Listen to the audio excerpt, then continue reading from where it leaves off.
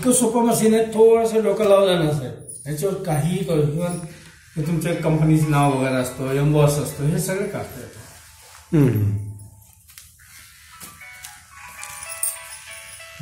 आता हा आपण ओरलाचा फूट लावला आहे हा दोरा ही जी काळी पट्टी दिसते ना इथून असं घ्यायचं. असं मागे घ्यायचं. असं. इथून. बरोबर? स्टिच बेल्ट पाच कंपल्सरी आहे. Stitch length S one compulsory आहे.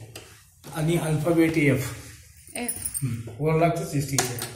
हे बघा तुमच्या याच्या मॅन्युअलमध्ये पण दाखवलं आहे म्हणजे हा ओव्हरलॉक कसा आहे की ते दाखवलेलं आहे.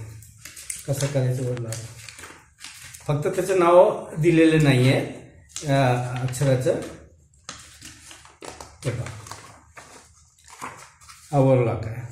हा overlock foot stitch base five आपल्या मशीनमध्ये एस टू नाही आहे एस वनच आहे.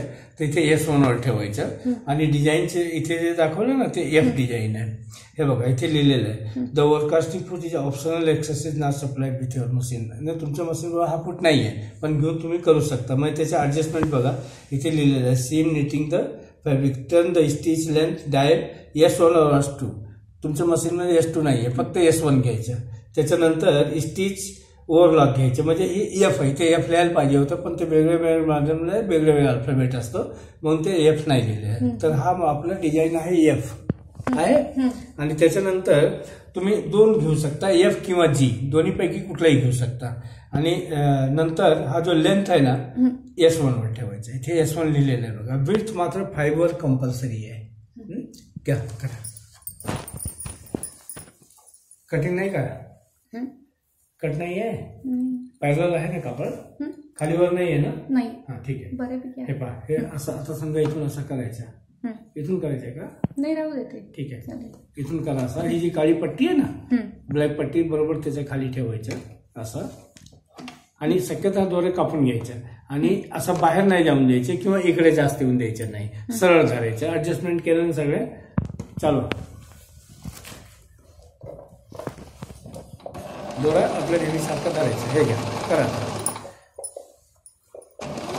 बिंदास चालवा. कापड असं धरा एक हात इथे लावा लॉक करतो.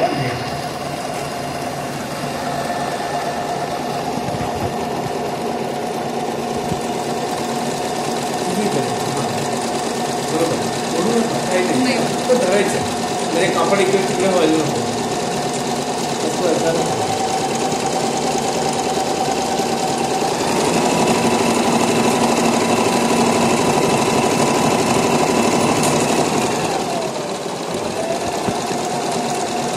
त्या युट्यूबमध्ये पण दाखवलं का असेल?